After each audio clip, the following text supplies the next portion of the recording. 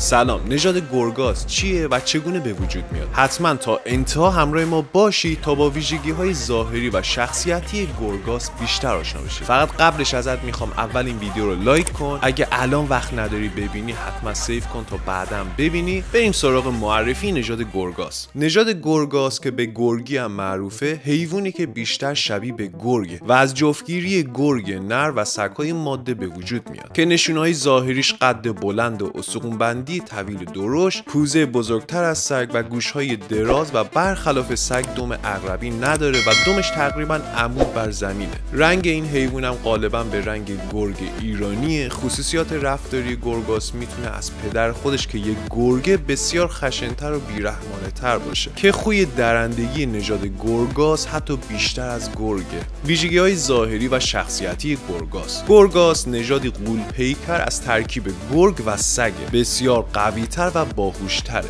بعضی افراد مثل چوپانها و علاقمندان به سگ این حیوان رو مجبور به جفتگیری می‌کنن تا چنین موجودی به وجود بیاد. اما چون معمولا نمی‌تونن کنترلش کنن متاسفانه در طبیعت رهاش می‌کنن. این موجود برخلاف گرگ ها از انسان نمیترسه قویتر و تهاجمی تر از گرگه. گرگ ها معمولا در زمستان به خاطر گرسنگی شدید به آدما حمله می‌کنه اما گرگاس انسان رو در هر فصلی ببینه امکان حمله کردن داره. حتی بهار و تابستون بیشتر. متاسفانه چنین دخالتی در کار خدا و طبیعت نتیجه ناخوشی داره. تو همین چند سال اخیر دهها کودک توسط همین گرگاس ها از داخل حیات خونه دزدیده شدن و متاسفانه خورده شدن. حتی در این رابطه مستند ایرانی ساخته شده به اسم گرگینگی. دلایل خطرناک بودن گرگاس. شاید شما هم ویدیو حمله سکو به انسان دیده باشید ولی اکثرشون اونا گرگاسن. و دلیلش هم اینه که بعضی از اونها به دلیل برس بردن خصوصیات ژنتیکی سگها ترسی که گرگ از آدمو داره رو در خودشون ندارن و چون به دلیل داشتن خصوصیات ژنتیکی گرگها بعضا از سگ درنده خودترن و به انسان حمله می‌کنن. خب امیدوارم که از این ویدیو لذت برده باشید. حتما تو کامنت بهم بگید که تا به حال نژاد